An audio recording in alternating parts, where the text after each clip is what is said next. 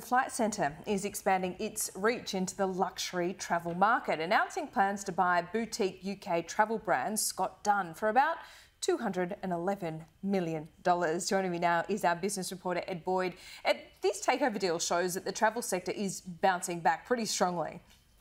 Pretty strongly indeed, Laura. Look, we know travel had a really tough time throughout the pandemic. If you look at Flight Centre specifically, before the pandemic, its shares were hovering at around the $60 mark. They're now at around the 14 to $15 mark. So they've come down a lot, but travel demand is really picking up again we saw airfares be pretty expensive over November and December period. Lots of Australians went on holidays.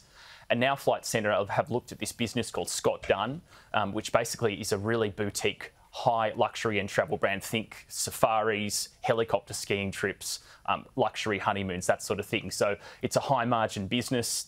They've got a big market share in the UK, but they're also expanding in the United States. So Flight Centre have announced plans this morning to buy them out using a mixture of shares and cash. Um, so it's it's a positive move for Flight Centre looking to really get into that boutique luxury space. Um, there are some risks with the deal though. Um, Flight Centre call out in their media release today that some of the employees at Scott Dunn may leave after the transaction, but on the whole, I think it's going to be a positive one for Flight Centre.